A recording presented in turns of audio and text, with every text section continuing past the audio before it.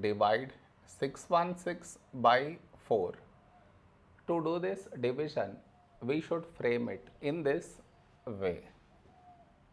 616 here, 4 here. This is your step 1. Next, here we have 6, here 4. A number close to 6 in 4 table is 4 ones 4. Now we should subtract, we get 2.